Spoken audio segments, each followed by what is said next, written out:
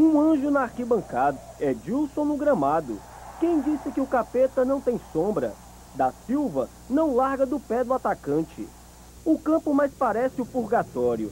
As faltas se multiplicam dos dois lados. O cartão vermelho não aparece. Todos ganham perdão do árbitro Luciano Almeida.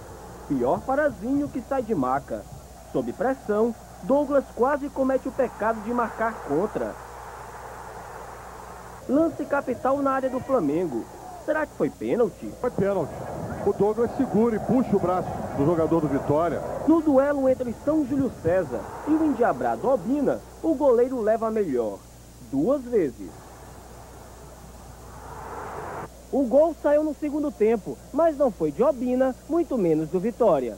Juninho sai errado, Juliano recupera, passa para Fabiano Heller. A bola desvia em Adailton antes de entrar. Flamengo 1 a 0. O anjo comemora como se estivesse diante de um milagre.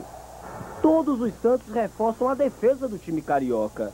Com a derrota, o Vitória vai ter que fazer fora o que não conseguiu em casa. Então a gente vai com esse pensamento de ganhar o Flamengo lá no Maracanã. Sabia que ia ser difícil buscar a vitória, mas viemos em busca dela e conseguimos.